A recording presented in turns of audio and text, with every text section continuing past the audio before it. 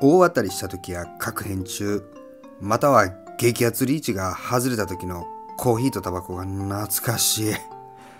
どうも、カルボテです。いつもご視聴ありがとうございました。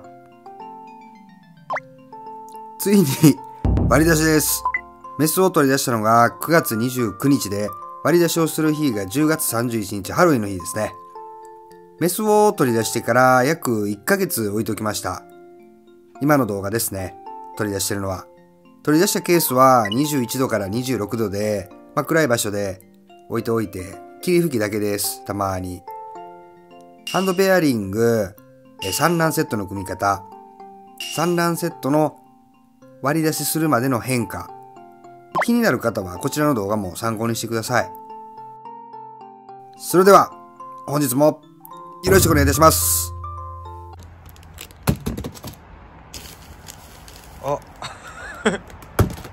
あ、あ、初めて割り出しするために衣装ケースホームセンターで買ってきたけど、ちょっと大きすぎやな、これ。ちょっと気合い入れて大きすぎる。わあ、見えとる。いやー、これ、こういう感じになってました。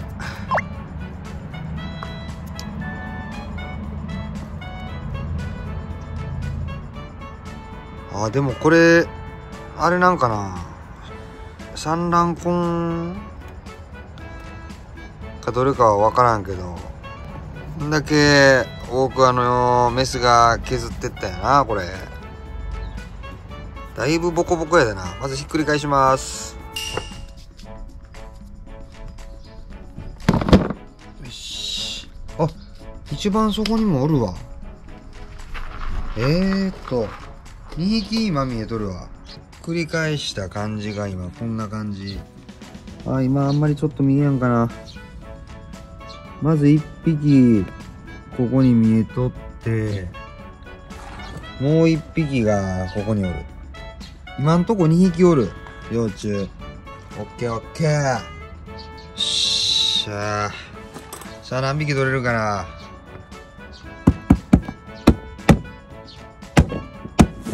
おお、ごそっといったわ。開けます。うう虫かごこっちにしといてよかったわ。割れたでな、一個。セットしとるときに。あ、え、めっちゃ産んどるけど、これ何？木に、木に産むタイプなんけど。うわ、めっちゃしっかりしとるわ。うわ、うわうわ、なんか、ケーキのスポンジみたい。やばい、一匹幼虫がポロッと落ちた。いそうかな。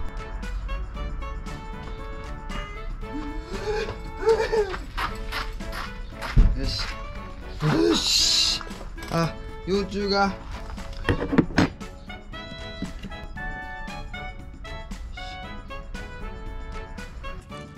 ちょっとこぼれた幼虫は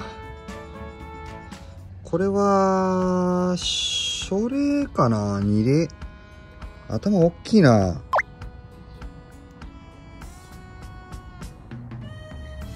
なんかかわいいなこれ。よし。まあ、こういう風にもう実際今見えとったのがここ入ってったのともう一匹見えとんのがここやろ、まあ、割り出しの前にまずこぼれとる幼虫入れていきます。こにもおるやん。ここにもいました。見えてたやつちょっと開けようと思ったらこれ結構おるかもな。すごい。おお出てきた。これでももう2例やな。あ書類か？いやいや2例やな。頭めっちゃでかいわ。はい。さっきから書類2例と言ってることなんですけど、まあ、初めて見られる方もいると思うんで一応説明します。幼虫の成長段階ですね。卵から孵化して1回目が書類ででそこから1回脱皮して2例になるんですね。まあ、頭の大きさとかで比べるんですけどこの動画内で軽く説明する場所を幼虫で比べていただく見ていただけるとこあるんでそこでまた見てください。さっきから書類2例って言ってるのは幼虫の大きさのことです。成長段階ですね。あれ？あったあったあったあった。もう今の段階で4匹取れました。まだ割り出しもしてないのにまだこんなにガッチガチしとんのに。よし上げていきます。結構産んでくれとる感じするな。もう。あこれとった。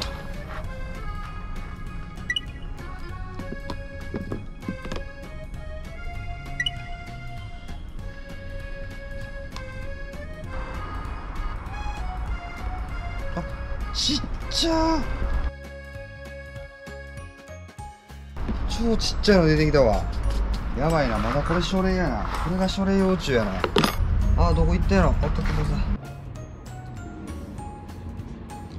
これが書類幼虫ですね。全然違う。一回り違うわ。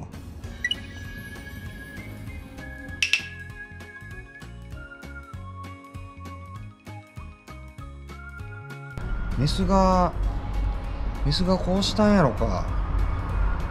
これ今反対にしたんですけどこっちがそこでこれ多分メスが木削ったんやろなっていう感じ？これメスが木削ってこういう風に。あおったおったおったおったおったおった幼虫幼虫。おおよしまずこの書類幼虫を。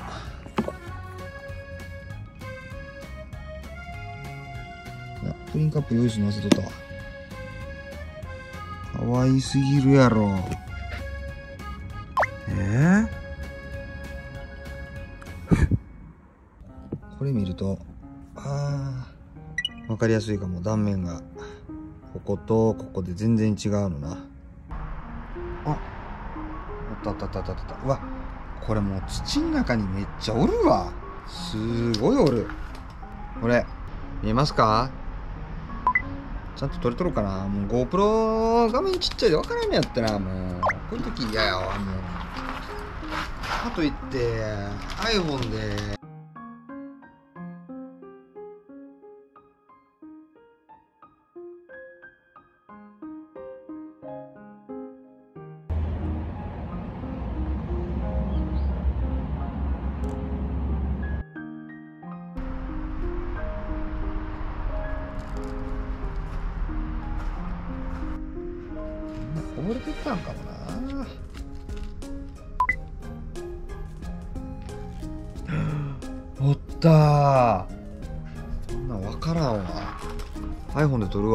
これ見えるかな？映っとるかな？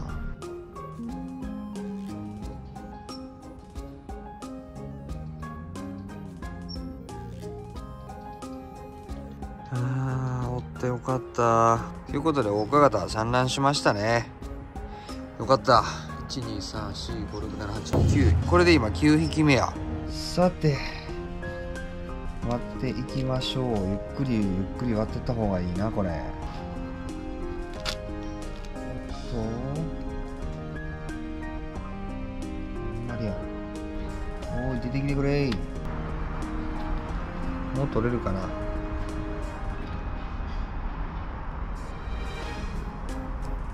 だやな。そなたを助けたい。ああちょっと。おいよしよしよしよしよし。これまだ生まれたばっかって感じ。書類幼虫って感じやな。確実に。すぐ粉々になるわ。あ絶対おるやんこれ。これ。これ。へえ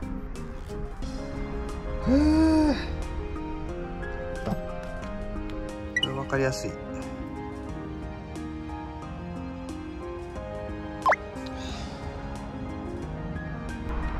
これは取りやすいわ。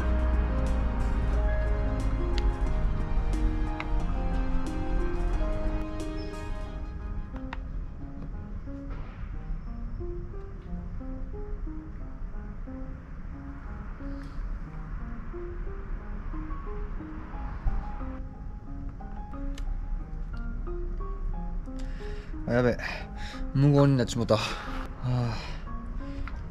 やばいわ。なんか喋っとこちょっと掘り出ししながらこれ見てる人であ見てくれてる人でパチンコ売ってる人に聞きたいんですけど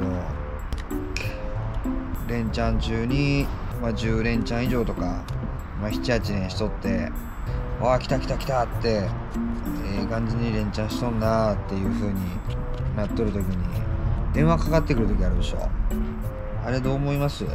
出ます？みんな。無視しますか？でしかも連チャン止まるっしょ。なんか知らんけど。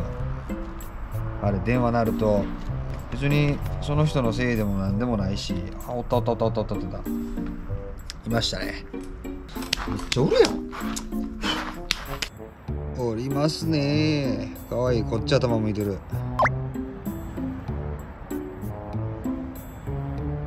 パチンコの話しとったら水切れたあちょっと大きいな。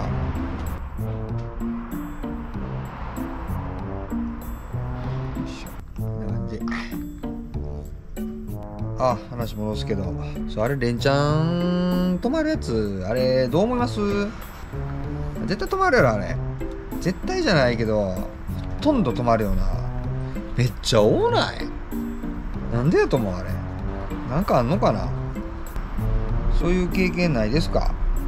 もう電話鳴っとるけど誰から電話かかってきとるか見やんとほっとく人なのかかかってきました。ああこの人や。まあ後でええかの人なのか。みんなどんな感じなんやろ？とりあえず携帯見るかな大体が。俺は携帯見る人やけど。でたまに出るし。出れやん時は出れやんけど。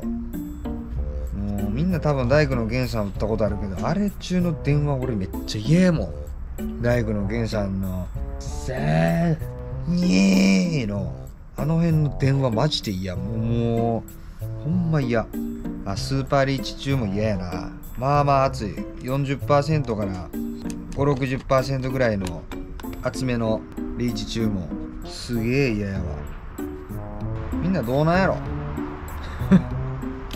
喋ることなかったらパチンコになっちまった見てだいぶ細なったよ。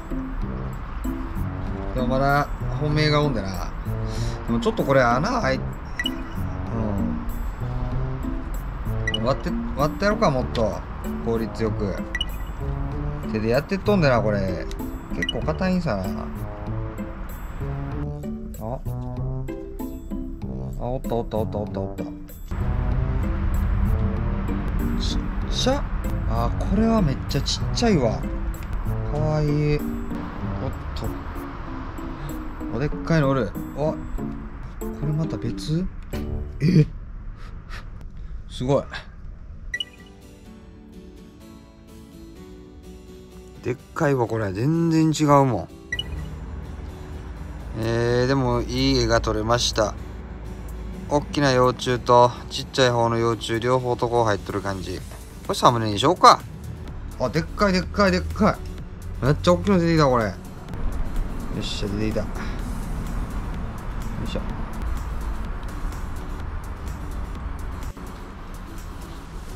あかんな幼虫飛んでいくわ。危ねえわ。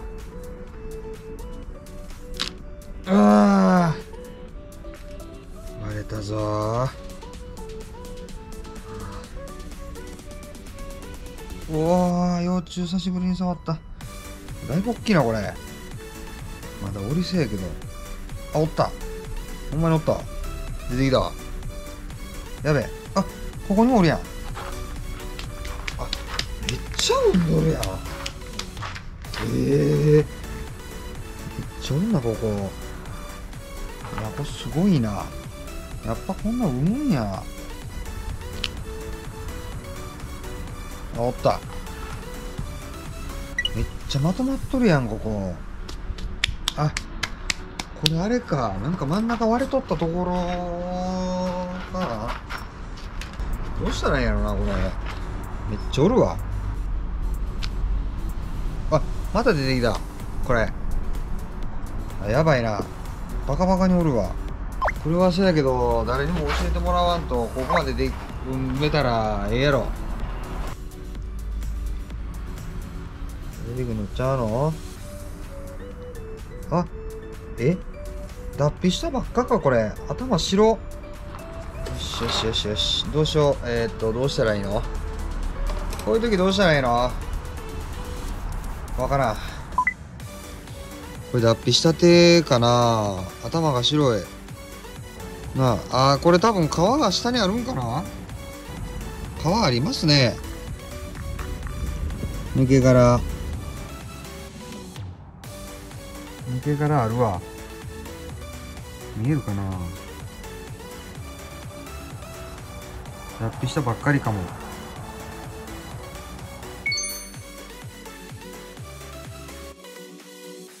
脱皮中か。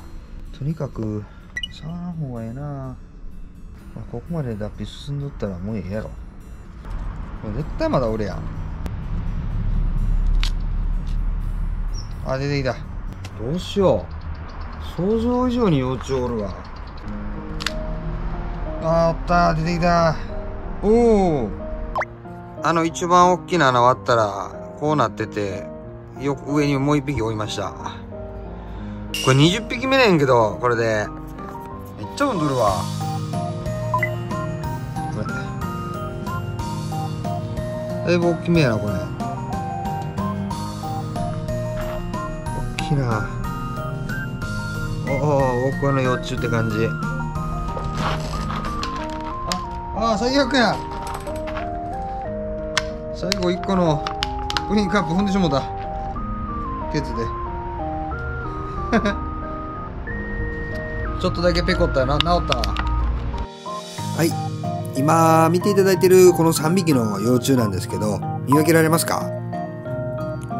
一番下が初齢幼虫ですね。で左の幼虫が二齢幼虫ですね。じゃあ右ははい。こちらも二齢幼虫です。下の幼虫はもう見るからに小さいんですけど左と右で体型は全然違いますよね。まあもう見るからにわかると思うんですけどただ頭の大きさは一緒なんですよ。まあ分かりにくいかもしれないんですけどこれ頭の大きさ一緒で、まあ、言ってしまうと二齢初期と二齢後期と言われる方も見えるんですけど幼虫の大きさってあの頭の大きさで今の成長具合がわかるような感じです。まあ頭の大きさはそのままで体だけが大きくなっていくっていうような感覚ですね。でこちらの幼虫も見てください。さっき脱皮中の真っ白の幼虫が少し頭の色がオレンジに変わってきました。抜け殻はまだ全部抜けてなくってお尻の方にちょっとまだ残ってるんですけどよく見るとこの茶色か濃いオレンジ色の頭のこの抜け殻がまだひっついてるの分かりますかね？でこれは初齢から二齢に変わるところです。もう応援したくなるんですよね、まあ、こういう風に成長していくんですね。頑張れ。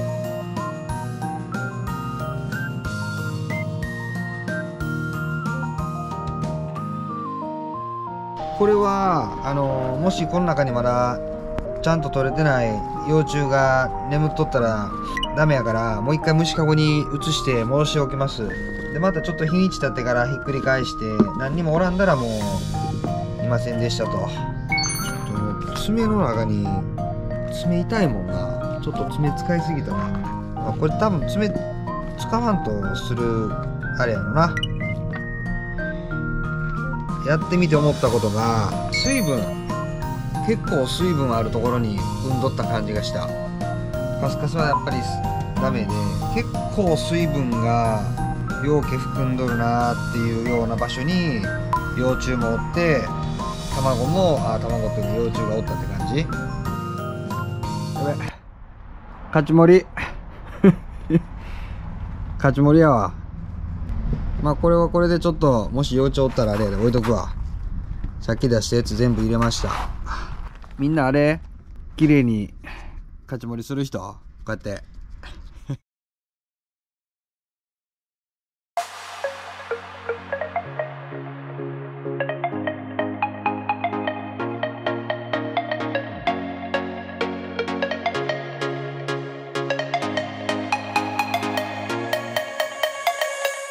というわけで、合計で21匹取れました。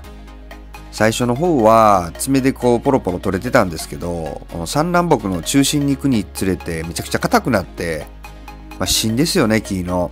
指がめっちゃ痛くなりました。あの、ペンチとか道具使った方がいいかもしれませんね。